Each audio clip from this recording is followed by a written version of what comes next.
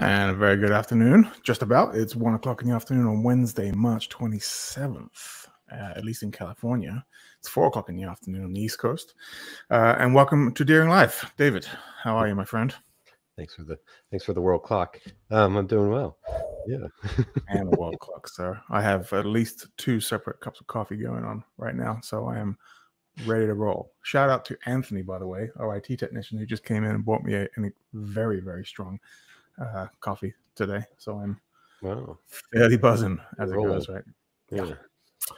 Not bad, not bad. We got some uh, fun guests. So we had a lot of fun last week uh, with the man Bela Fleck on the show. That was a really fun episode, uh, and we've got a pretty packed couple of weeks. Uh, obviously today, and then let's talk about the next two weeks. What does that look like for you?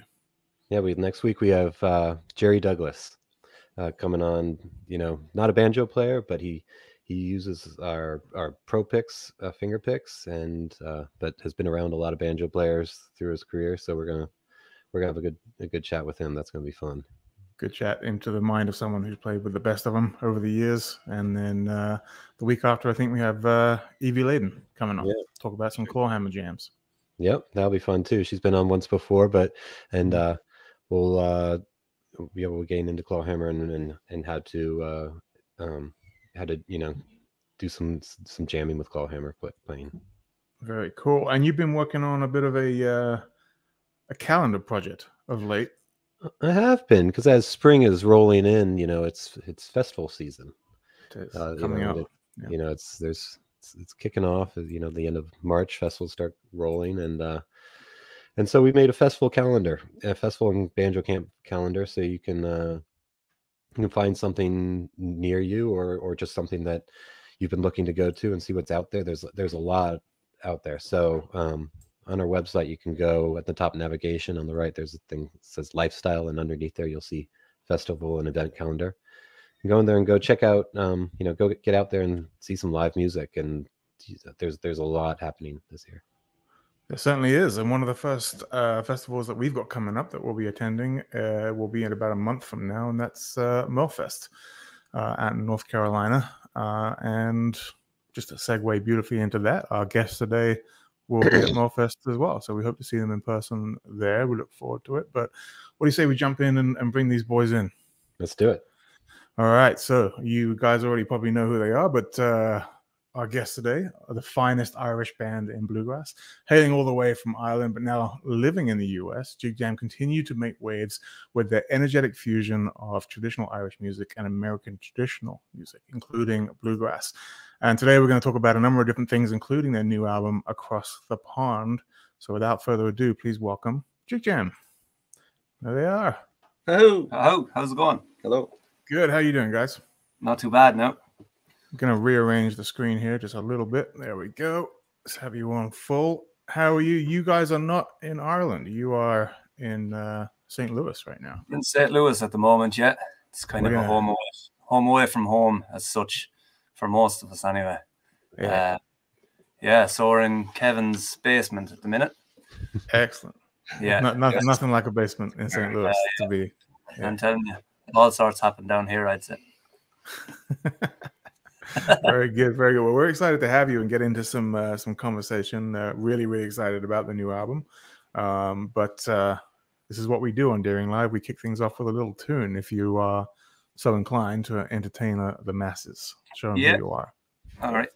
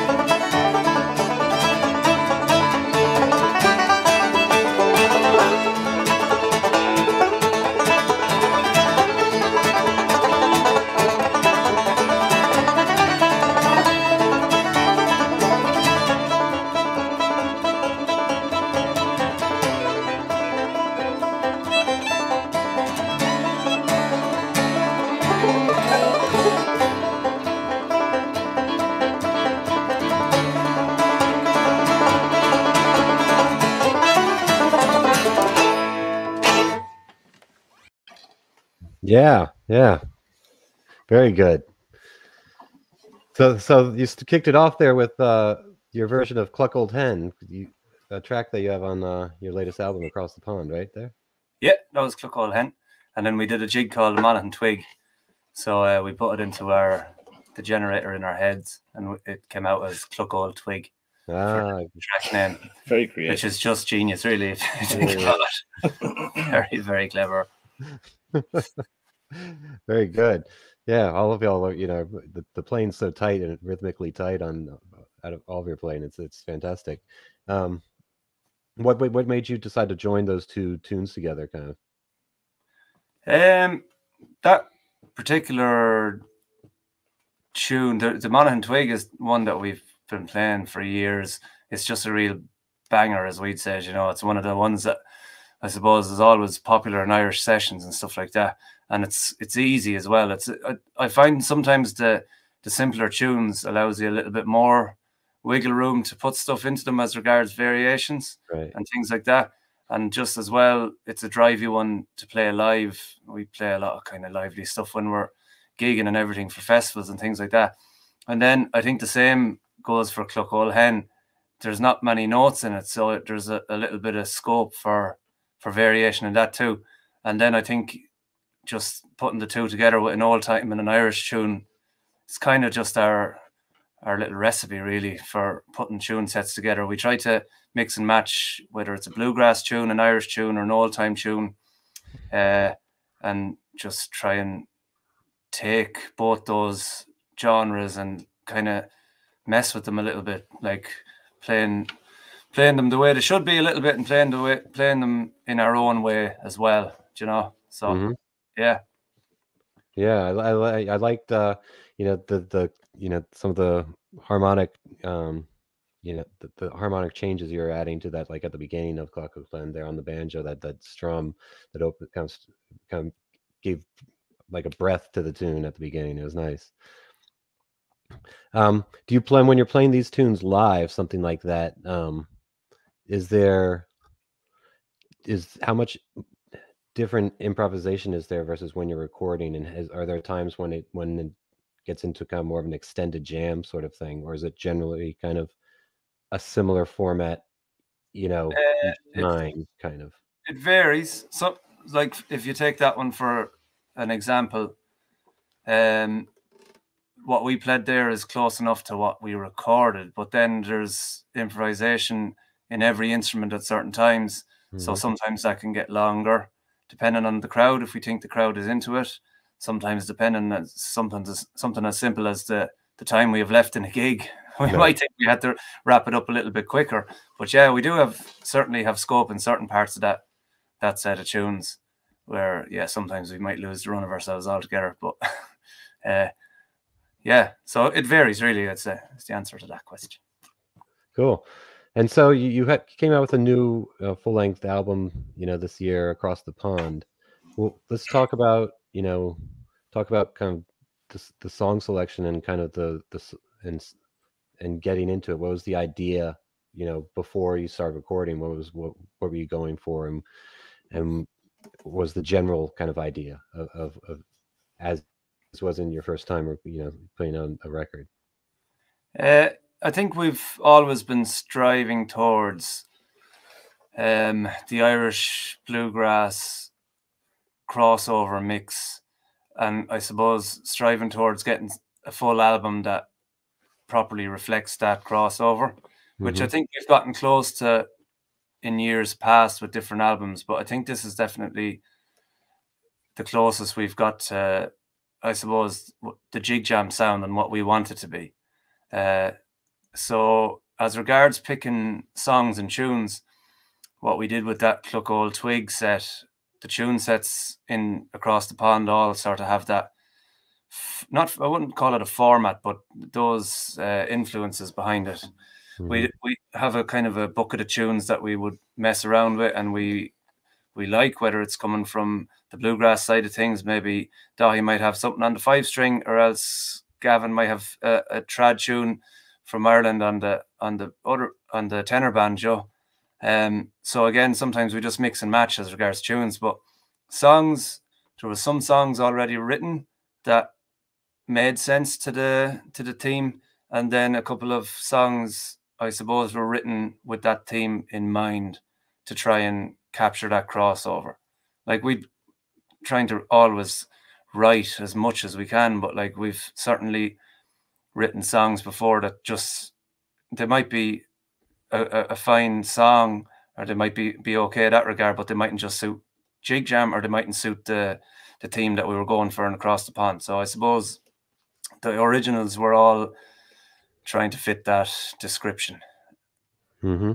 Yeah. And and what's the kind of what is the songwriting process for the band?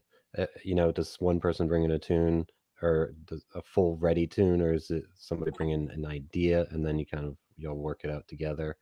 Um, it's it's it's been varied as well. Like there's uh, either it could be full songs brought into the band, nearly ready to go, or else sometimes it might just be a verse or a chorus, um, or even just a riff. And when it's brought into the band, everybody can kind of give their their their spake on what they think it should be or where it could go. But then, yeah, there are other times that you know, I suppose the song comes in ready made, and even like I know guys in the past have come out like in with songs and to kind of even have an idea for what each instrument should do, which makes it easier. Do you know that we can just right, okay, roll in with that, and and it mightn't need much work at all. And does everybody uh everybody bring in original tunes, or is there one of y'all the kind of the main songwriter? Uh, we all bring in original tunes. Uh, it's kind of just an open book, really. As regards, we have a WhatsApp group that we send stuff into, and then it's just down to a selection process on what is going to make the cut or not, and what makes sense to the album, what the album needs, whether it needs a certain amount of fast songs, certain amount of slow songs, different keys, different topics, and we just try and whittle it down that we think that is going to I suppose, benefit the album the best we can for, for what we're working with. Super cool. I love it. We have this question here from uh, Kelly. Um, Time to Go Home is my absolute favorite track on the album. Uh, I'm curious to know why they decided to add The Robin on the album as it's on another album of theirs as well. You want to speak a little bit uh, to that one? Yeah, that's me again, I suppose. Uh, sounds, like, sounds, like, you're taking on the, on most of. Yeah, I don't mean to, but those two songs, they're they're two of them that I wrote myself. Uh, well, thanks for the time to go home. Yeah, that's a, a kind of that was a song that was written as a closer to an album and as a closer to a gig which we're doing live, the kind of final song uh, before people actually go for the door and head home. It's a description of a, an Irish pub scene with a, a, music session going on, and people are just singing their last song. And after a great night, and they all head for the door. Uh, but to answer the Robin, uh, the Robin is the first song I ever wrote personally. Uh, we brought it into the band, we recorded it, and uh, I think we can all say we, I think we murdered it a little bit in the last album, and it was one of those ones that always uh, you know, we always kind of looking back thinking, oh, I wish we did a, a better job on that or a different approach. And that was obviously one reason we wanted to do a better job on it, but also the it fitted the team of across the pond. So it wasn't just random.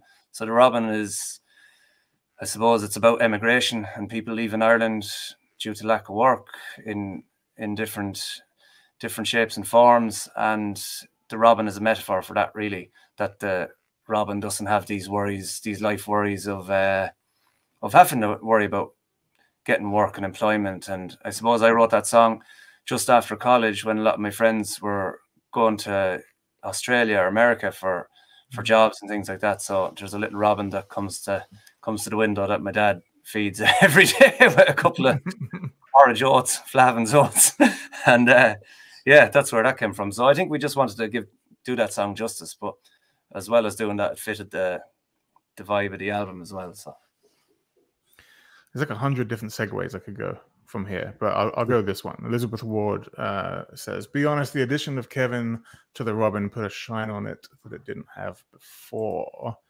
Uh, I think there's some nodding going on there, so I think we can probably uh, all agree. But Kevin, you're a, you're you're a newer addition to the band, and you know you're, holding the venue for the day here at least for this uh, this small hour.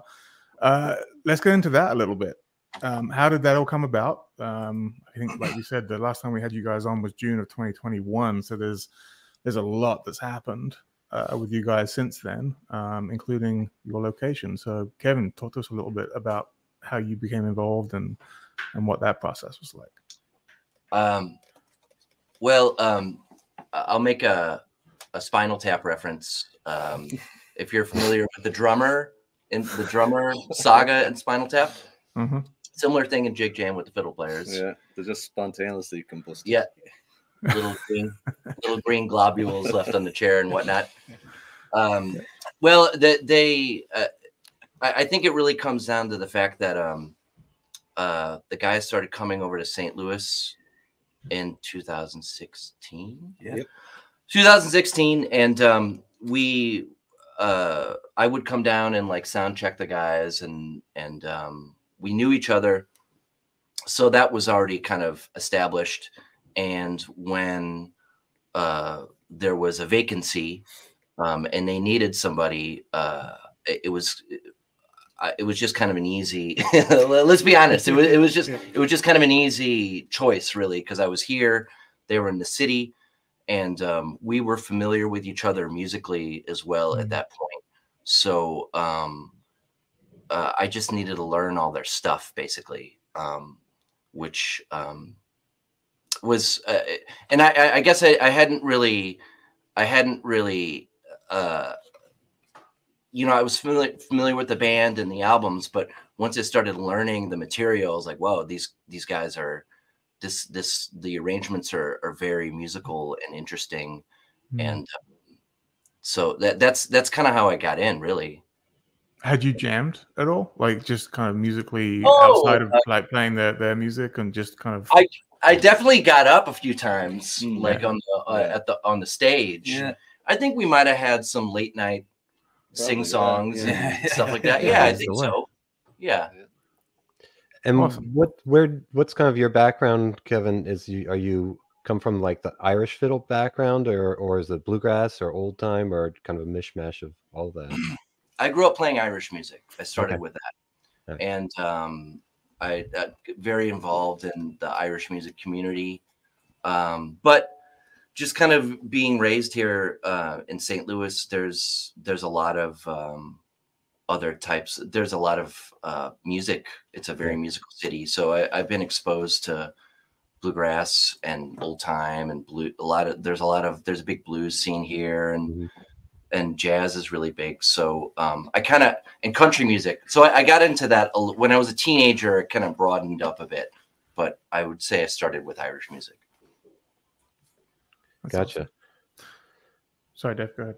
Yeah, and and so what was the why ha- and why did the band start coming over to St. Louis since 2016, specifically St. Louis? Um, not were you coming specifically there, or just passing through on on a on a tour? Daithí, I think it's your time to. Um, we got the recommendation uh, from a friend of ours, a great tenor banjo player as well, called P. Ryan. Um, uh, when we were touring over here first, uh, he recommended the the great Irish pub here in St. Louis, John D. McGurk's, to us. So we start gigging there, doing a little resident gig, uh, two weeks at a time or something like that. So, uh, so it's nice to spend time in the one place over here as well, rather than traveling around all the time touring.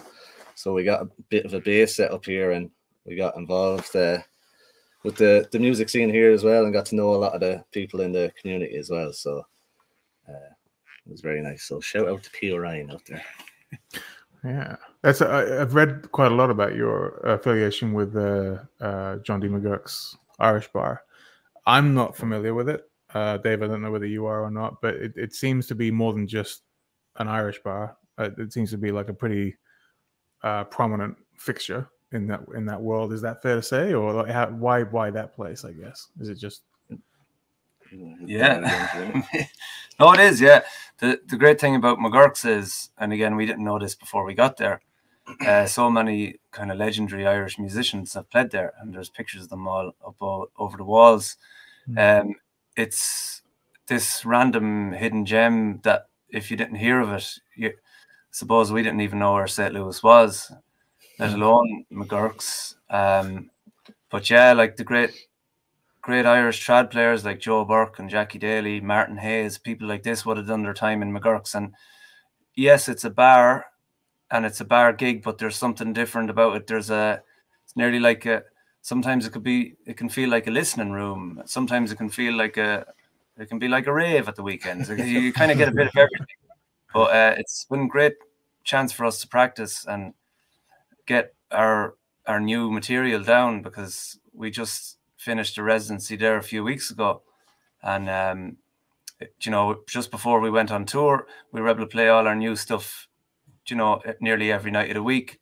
So we didn't have to sit down in Kevin's basement and practice. We could just do it on a stage, which was nice, you know probably a bit like uh, you hear about stand-up comics, right? And they they uh, try new material, and they have this kind of one place that they always go to, very informal, but they, it's a perfect opportunity to go live for the first time with stuff and make maybe make adjustments, maybe tweak a few things here and there, engage like you know, like you say, real-time reactions rather than just being in that vacuum of of like say in a basement and just maybe having a couple of people drop by for some opinions. But that's got to be quite helpful to have that kind of you know a two week stint of being able to do that and then i guess the the the, the idea is then you can go off on tour for a couple of weeks maybe and then come back and, and kind of re- repeat that process and just keep it dialed in without having to spend months and months and months on the road is that kind of what the idea is there yeah pretty much um it was it was a like look at it was a paycheck as well when we were on weren't on the road and it's it's just a yeah, it's a great outlet to to play anything. And again, we would play anything. It we could play a full hour of jig jam stuff, and then we could end up just trying something completely bizarre, just mm. for the fun of it, you know. And that's the beauty of that kind of gig. And again, it's on that stage. I know over the years where we've come up with little ideas and figuring stuff out, or maybe an old traditional song that someone might sing completely randomly on a Wednesday night and say, "Oh, that hold on, that works," and it could end up in the in the jig jam set. Then you know when you do go on the road. So yeah, it's been great for that kind of thing. That's awesome. That's awesome. And then you you had I want to get into kind of the the coming to America part uh, in a little while here, but the um the other kind of big thing that's happened you you made your debut at the Opry not too long ago. Yeah, Gav, do you want to talk about that? I'm doing a lot of talking. I, I want to know about it. And by the way, Gav, I think uh, mom and dad and brothers are tuning in watching, so you're watching language, all right? um, yeah, we were lucky enough to make our debut at the Opry uh, last March. Um, needless to say, it was an unforgettable experience. Um, and then on the night, of course, you know, Steve Earle was there and Garth mm. Brooks and Trisha Yearwood showed up afterwards, just as we were finished playing and uh, yeah, it was really just amazing get to play our music on a stage like that. Yeah. And um, yeah, we're actually just found out um, just two days ago that we're actually playing the Opry again next Wednesday, uh, oh, April. Nice. So um, yeah, the excitement is very high in the Jig Jam camp at the moment. yeah, congratulations. That's that's huge. We had um, we had the guys from the well Colton from Dead South on recently, and they they, they played the Opry and they, they played. Well, I think they're about to play the Opry and they played the Ryman and um, same idea, I guess, in as much as we always think of those venues as just have they're playing quite specific music, but they seem to be opening up to more kind of non-traditional uh, stuff as well, and trying to kind of you know expand the horizons, as it were. So, I think I read that you got a standing ovation on your first appearance. Um, so I assume it was pretty well received. Uh, yeah, we we did. Uh, yeah, so it's, it's still a bit hard to believe. I think they were stiff. They just wanted to stand up and stretch out. I'm sure it was because of the raw talent. Yeah. But, but, how was it? I mean, you know, was it was it just like as exhilarating as it sounds? To to were you surprised? Oh yeah, the whole yeah, thing was a bit like a blur like a dream. Uh, gee, I don't know when you you try to prepare yourself for that, but when you stand onto the, into the little the circle and you look out to a full house, it was just they take your breath away. And yeah, should stand an ovation was just the cherry on top. It was ridiculous. It's still kind of hard to believe. Yeah. Uh, you know, playing our own kind of stuff is, yeah, it's it's very cool. It's an appreciation for just good musicianship, right? and and just good music all all in all. I don't think anyone who walks in there is probably like, I'm not going to like it because it isn't a particular genre or because it's not doesn't fit a certain category. Like I think just people just appreciate really good music these days. Yeah, well, like I think if you do look at the Opry, even next week, just looking at the lineup, it's still it's very diverse. Like there's a comedian on as well. Like there's a Rhonda Vincent is there, like a pure legend of bluegrass. There's a couple of country guys. I think to have and the fact that we have the bluegrass aspect obviously gets gets us um, you know, on the horizon of the Opry, which is great. But we're very different too, you know. Um, but we like to keep everything lighthearted and upbeat and lively. So you know, no matter what the venue is, we we don't get too serious about anything, and people hopefully can enjoy themselves. You know, and that's the the aim of our game anyway. Yeah, absolutely, absolutely. Well, uh, Dave, we're about the halfway point. Do we want to? Yeah, some more music. More music. Yeah. Yeah. What we doing? Time to go home. This is a this is time to go home. That I think it was Kevin. Yeah. Awesome. So again, this is uh we've been playing this as the last kind of song of of the gigs on our tour lately, and it's the last track on the album. So it's uh I'm gonna have to keep talking now before Dottie tunes up. I'm just going into double C here for uh, all the banjo players out there. And uh, yeah, this is a pub scene in Tullamore, whereas uh, where I'm from, and uh, you can imagine an Irish session after going haywire for the whole night, and fellas losing their minds, and all of a sudden there's one song left, and this is kind of capturing that moment. So,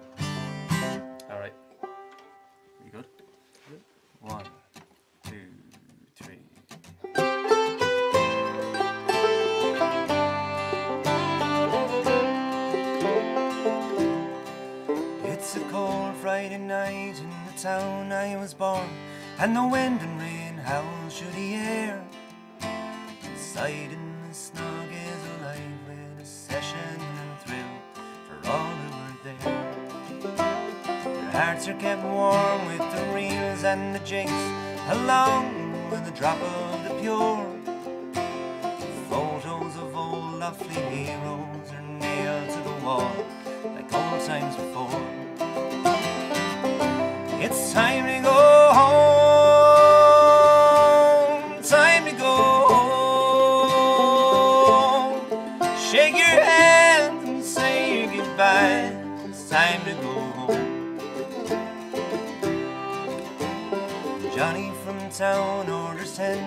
Plain as his wife tries to drag him to bed. One more little sup cries old Johnny as he takes off into dancing instead. The fire crackles along like the curly red hair of the fiddler who sits by the door. Brownie lets off the green fields round for band as the Buckley twins they shout for more. It's time to go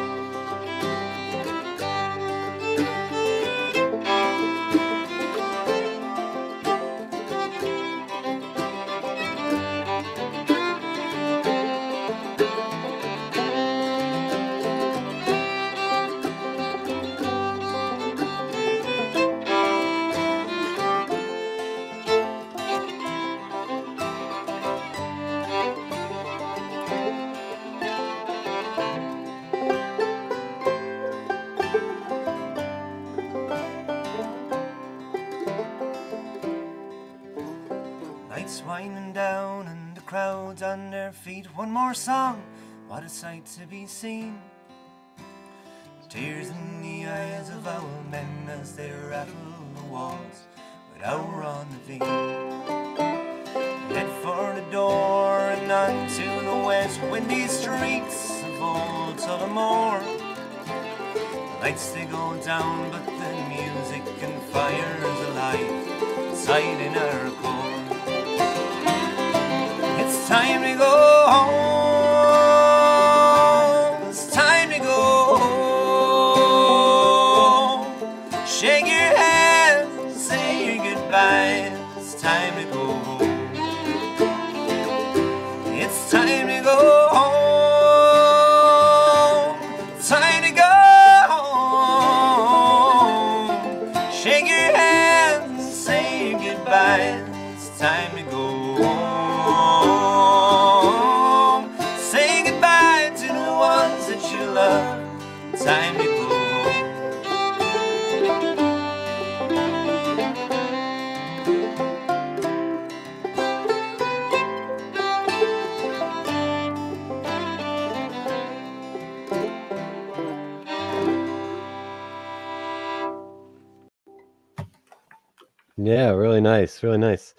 I want to um ask Daithí about playing um like a non-bluegrass sort of songwriter, playing behind, and you know, what, what's your approach to to playing to like a song? You know, not not like a bluegrass song, tune, but just like a songwriter sort of tune like that. Because a lot of Yeah. players get a lot of five string banjo players are, are in that position where they're playing with songwriters, and you know, it's not necessarily a bluegrass scene. Um, how do you kind of use your bluegrass technique to, to back up that that song? Yeah, yeah, that's a good question. Um, uh, for that particular song, I'm just trying to not get in the way, kind of, and uh, just kind of be rippling in the background.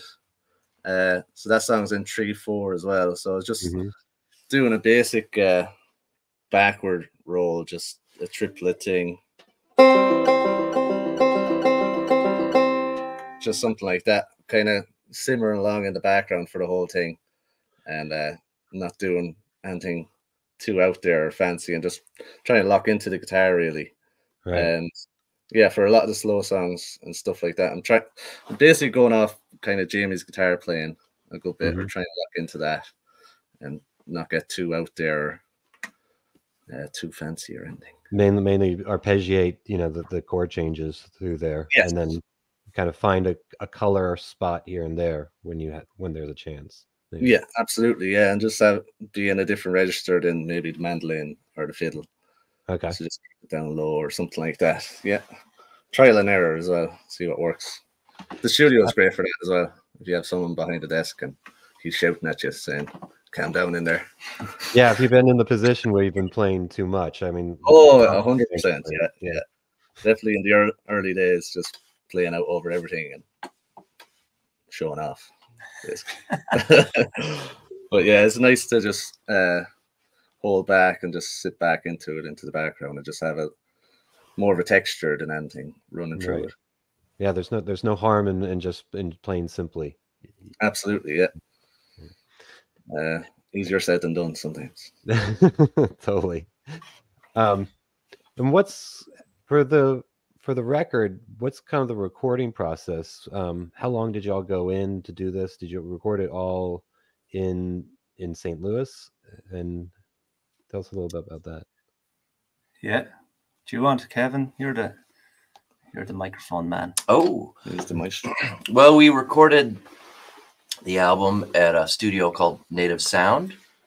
Um, uh, that's run by a guy named David Beeman, and um, yeah, uh, we we just uh, well, I, I'd say it was probably two weeks, no more than that, right? Well, yeah, Yeah, two, two yeah. stints. We, there were we two stints, yeah, yeah. we had the first five tracks recorded. Uh, when was it? November? In Oh, no, in June. June. Yeah. Yeah. Second one was in November. Yeah. we finished it in November then. Yeah. Yeah. Yeah. Oh, It was pretty quick Yeah. as far as I'm like Just a week with two, yeah. projects that I'm used to doing. Um, uh, I it it it, it uh, was pretty efficient. I, I would say. I mean, we got a lot uh, for two weeks. That's pretty. I think it was Doing eight, a record in yeah, eight days. Eight days total. I think, You know. yeah, we still had our add-ins. Like we a couple of extra days for harmonies, and you know we sent it away for double bass to a guy in Knoxville. Um, Daniel Kimbro's his name, But other than that, yeah, it was fairly. We got the bones of it done in those eight days. But as regards the process, yeah, we uh, we're kind of mainly just going in on our own. We didn't do. We tried to do a bit live, and then it was just quicker to go in individually. We'd start with guitar, then banjo, then mandolin and fiddle at the end, and uh, yeah, try to get those bass things down. And then before we'd start on a main vocal, we'd throw a guide vocal down first and a guide guitar, and then we'd we'd work off that. And did you did you play to a click for those first few tracks? Yeah, yeah, everything's to click. Tried our best. Uh, to, We, we tried our best. the click was going on anyway, whether we were playing to it. You know? Yeah, a couple of nudges here and there now. It's around the click, but yeah, there was a click in our ears. There's a question from Jackie uh, Haran saying, uh, "I see Gavin changed instruments for Time to Go Home. Does he have a preference to banjo or mandolin? Amazing musician on both. Big Jim, on both. Big Jig Jam Band. Um, it just depends on the song, really. Um, so a, a song like "Time to Go Home" is kind of a more mellow, subtle one. The mandolin um, just fits nicely in that.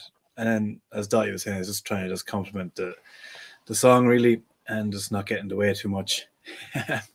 and uh, I suppose then I'd play the banjo more for tune sets, or we have a, um, a song June Apple where there's the two banjos going on. So um, generally, we try and just like um, try and say if the, the five string might might play a, a traditional Irish tune, and like the tenor might play like a bluegrass tune, just to try and mix it up and show the capabilities of both instruments.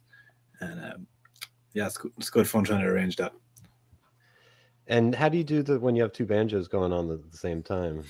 How do you how do You you put in it? the earplugs. Earplugs. um, I suppose you just try and arrange it in a way that's like um, so somewhat uh, listenable. listenable. yeah, I think, yeah. I'll, I'll add that Mark James uh, said, I had the pleasure of hearing Jig Jam live in Lancaster last Friday. It was a banjo extravaganza. Take that. We'll That's take that anyway. We're going to quote that.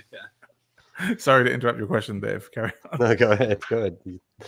I was just going to, following up on that question, outside of putting in earplugs, like what is the balance there? Because you're playing a, a tenor and a, and a five string, right? So they're, they're a little different kind of frequency wise, but they're still, they're still banjos.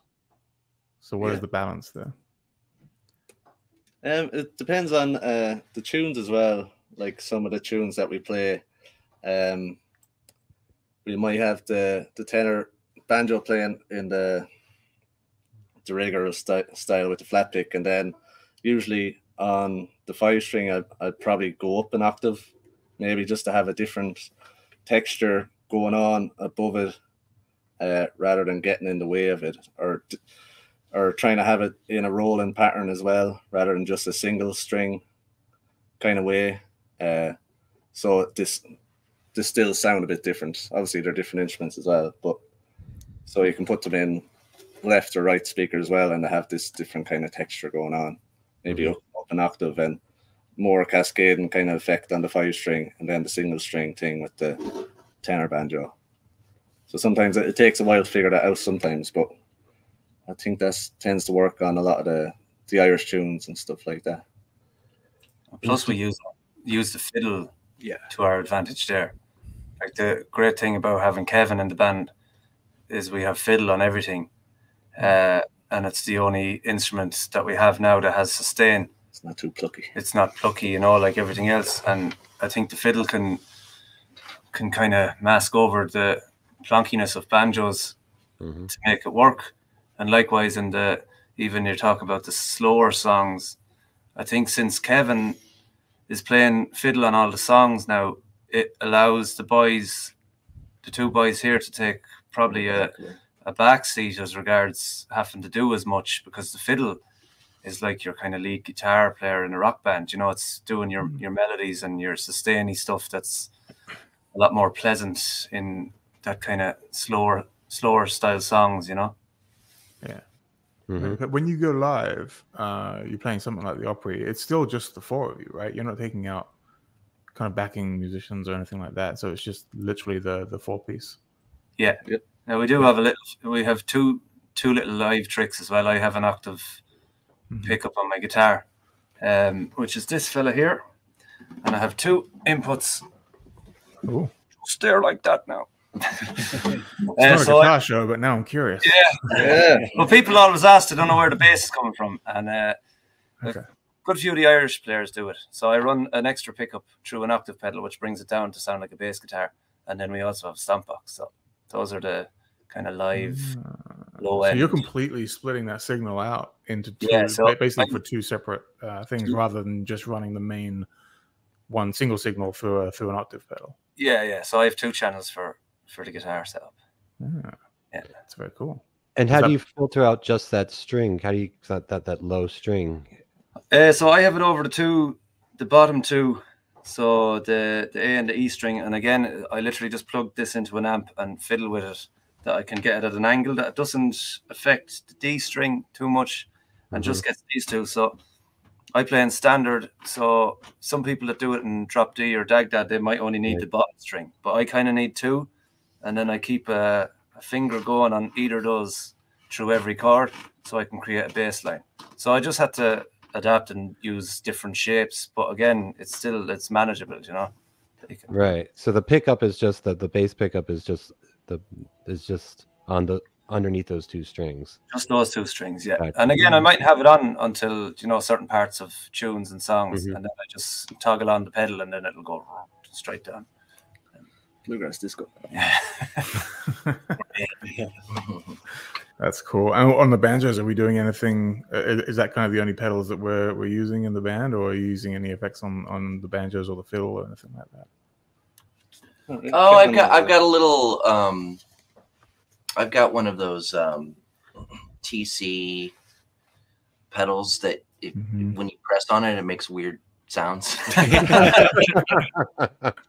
so I like the technical terms. You just kind of fiddle with it, and it just makes weird sounds, and that's, that's yeah, yeah, that's exactly it. So Yeah. um I, I, ju- I just kind of p- pop that in at appropriate moments if there's some sort of crescendo or if we really want to make a lot of noise basically um a cacophony a moment oh, but only only a, a moment or two um but for the most part all the instruments are, are pretty direct i think Mm. even on the album i mean you're just hearing the sounds of the the instruments on, on with mics in front i mean there's there's not a lot of processing or anything like that which I think is cool. I do. I, on the whole, I think that's great. I mean, it's, it's good.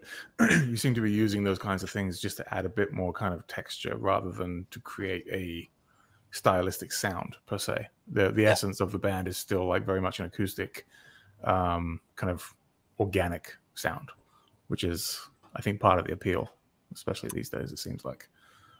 Yep. Uh, very cool. Very cool. Dave, sorry. What about on the banjos? What what's the pickups y'all are using? Uh, I think I have the Fishman Rare Earth. Okay. And then I go through one of those Grace uh, Helix designs. Things. And I actually used the same, yeah, Fishman rare to pick up and then go through a Grace Design DI. Right. Cool. Do the job. Yeah. yep just coming back into um into the album just a little bit uh it's called across the pond um and i'm just i'm curious on on a few fronts here um i read about the title being uh really just kind of about irish immigrants coming to the us and settling and kind of more paying homage to that. But then it kind of it, it, it's at a time in your guys' career when you've kind of done the same thing. Um and so i'm curious like how does that history kind of play into your your understanding and and you know the the the, the crossover that you've you've made coming to the states Anyone want to take that? Go ahead, dear Jamie. Jamie. jamie's got it uh, yeah, so obviously there's certain songs uh, that describe the, the Irish immigrants years ago. Like we did a job on the city of Chicago uh, that describes the people coming over in 1847. But uh, I think what across the pond really, I don't think it's time specific because the Irish people keep on coming over here to the States and they will continue to keep coming over here. So I suppose it's not it's not a historical thing. I think it's it can be both historical and very much present at the same time because I think Kevin, what's that now? Is that your waterworks? Yes. That's St. Louis for you folks. Yeah. yeah. I, I thought it was in the factory, yeah, but it's not. Yeah. So yeah, there's no there's no particular timeline on it. I think it just describes Irish people coming over to the states, and I suppose not just coming over; it's what they're bringing with them, and what Yeah. they bring with them. How has that affected American culture and Irish culture? So that's when you look into the history lesson of bluegrass music and how bluegrass music isn't that particularly old. And when bluegrass started with Bill Monroe, uh, the influences of Irish people already settled here in the States, those influences with their culture and their songs and their tunes, they are deeply reflected in bluegrass music and what you hear today in traditional bluegrass music. And the same as American folk music or old time or whatever you want to look at, that full umbrella of, of genres, uh, you can you can hear the Irish influence on all of them. So it's obviously still evolving and there's bands you know doing it t- still today whether it's traditional bluegrass or more progressive stuff you can still hear those irish influences. So that's kind of what across the pond means. And i know that 50 years down the line they're still going to be coming across the pond and god knows what they'll bring the next time in 50 years. I don't know but there'll be an irish influence over here in some sh- shape or form you know? Completely agree. That is uh, that is definitely the truth. This is the first time you guys have actually lived here in the US, though, right? You, I mean, you've been coming across for years, but um, Dave's coming back. By the way, he just dropped out temporarily. Um, the uh, what's it like living here? Your your residence at this point. Um, has there been anything? Uh, and I can talk to this as a as an Englishman coming over to California after 30 years like it's it's a bit of a culture shock sometimes uh, have there been anything uh, that you've had to get used to that you weren't expecting. You know difference between essentially being a, a touring band versus an actual um, part of the part of the community.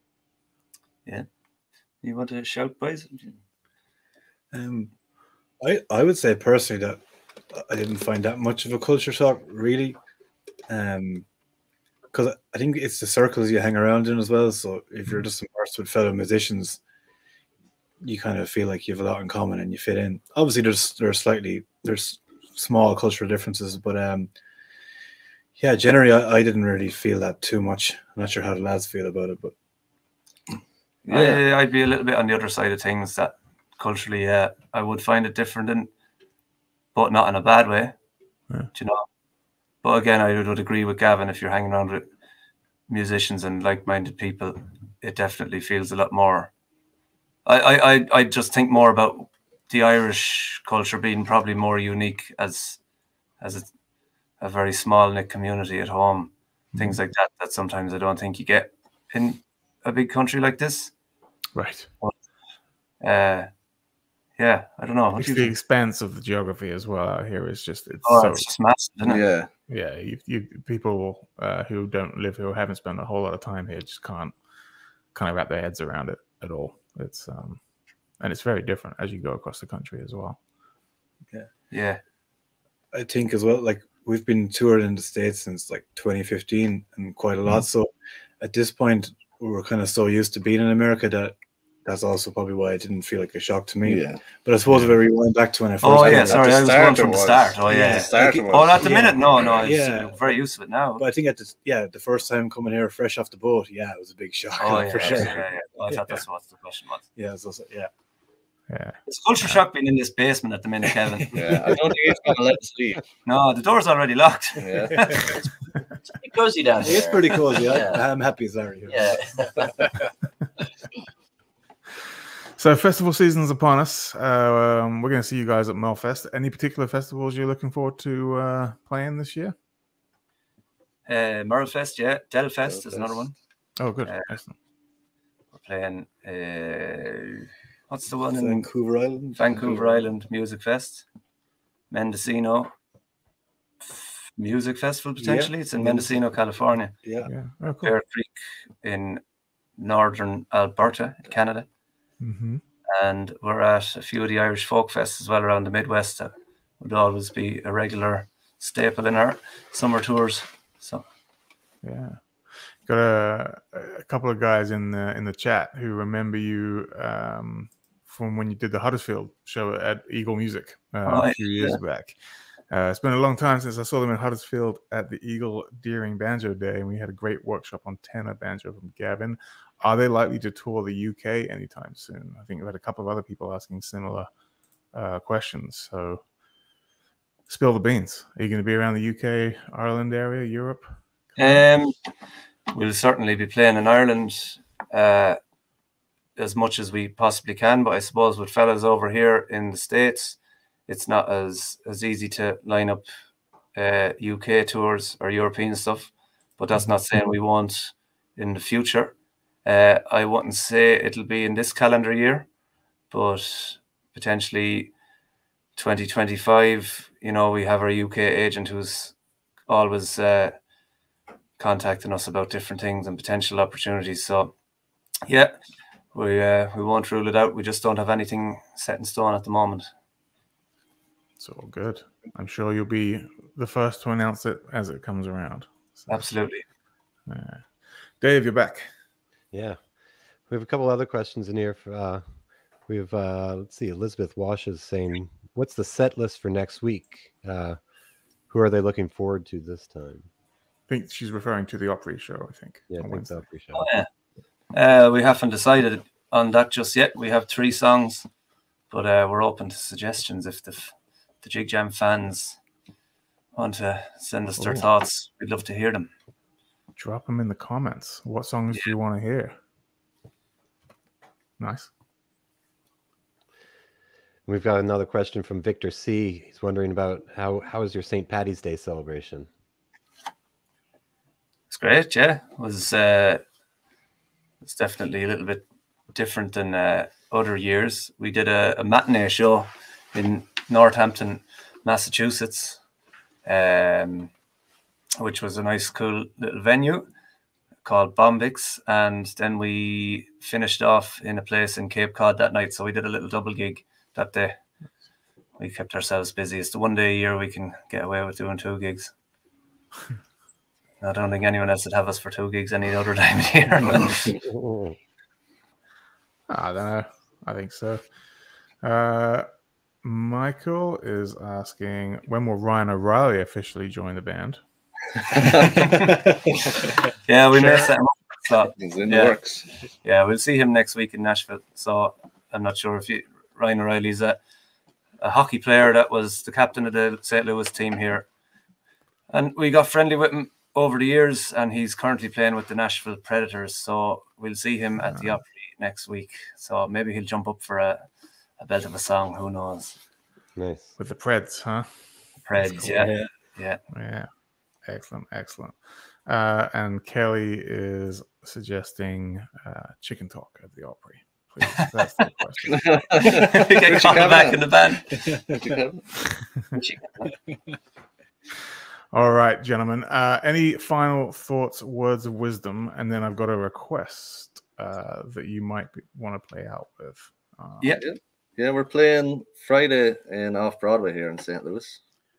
That's the plug for that. It's nearly sold out. Yes, Uh, looking Where forward to can that. people find you? Let's talk about that. we're in Kevin's basement.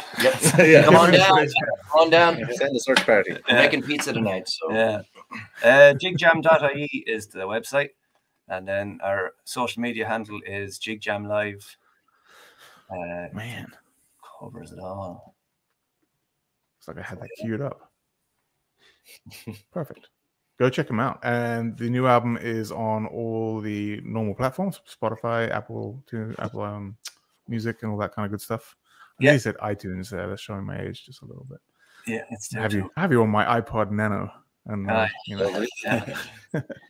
One thing I did just before we wrap up, you you had um, Becky Buller on the album as well, didn't you? Yep, she did. She sang on the city of Chicago. Which is a great song in and of itself. But uh, Yeah. how how was that, and how did that come about? Because she's she's cool. She's good friends of ours. Yeah, she's a friend of ours that we met at a few festivals over the years. And um, yeah, I suppose we we wanted to we were open to collaborating with. Again, we didn't have any plan, and then we waited until we recorded stuff, and they were like, "Well, what does it? Does any particular track need anything?" And we hadn't put harmony on the city of Chicago, and Kevin's voice just wasn't cutting it for the same, you know. so we needed a bluegrass female in there. Yeah, I know. We just thought it'd be nice to have a female vocal uh, mixed in. I think it's nice in general, no matter what the song is. But that particular song, we thought it might be a nice uh, avenue to go down, and we thought about who we could ask, and Becky was top of the list because we had just seen her a few weeks before that. So we sent her a text, and she was all up for it. So yeah, it was great to have her on. Were you able to do that in person, or was that kind of a send the track and have her do it wherever she was at? It was send the track. She recorded with uh, Stephen Mougin, who's Okay. Sam Bush's guitar player. He is a Mhm. studio, and uh, it was done yet remotely down there. But the next time we share the bill on a festival lineup with Becky, I'd imagine we'll uh, team up and sing it live as well. So Oh, that'll be a treat. That'd be really cool. Yep. And she's normally at IBMA. And I think you Yeah. guys quite often come down to IBMA in uh, September as well. So, Yeah. um, so yeah, we'll be at Merlefest in the um, the vendor tent right towards the back stage area uh, of the main stage. So, uh, do you make a promise right here, right now, to drop by and say hi? promise. Promise. There you go. You heard it there, Dave. Yeah, I heard it. All right. Excellent stuff. Well, we've got one request. Um, Kelly is asking, any chance we can get the lads to play June Apple? Ah, There we go. well, we weren't going to play We this one, but play uh, we'll huh? suppose we'll play it. Yeah, this was the we plan. That was the plan all along. huh? Okay. We said Guys, thank you so, so much for your time today. That was awesome. Really, really fun as always. Um, wishing you the very, very best with the album, with everything you're doing uh, this year, this summer. Um, and thank you everyone for tuning in, whether it's live now or later on the replay. Enjoy JigJam on the way out. Thanks, guys. Thanks so much. Thanks, man. You just do, do the same as we've been doing it, the same tune as we've been doing recently. Yeah. That's Oh, the yeah. Same tune we've been doing Yeah, recently. so Yeah. don't think Kevin heard the other plan. Okay. So Same same, as we did, yeah, same tune as we done recently. Rehearsal. Don't overthink it, Kevin. I, I, Whatever comes I out of your fingers. Guarantee it. won't. All right. All right. Well, one, two, three. Well, I wish I were a June apple hanging on a tree. Every time a true love pass, take a bite of me. Take a bite of me. Take a bite of me. Every time a true love pass, take a bite of me.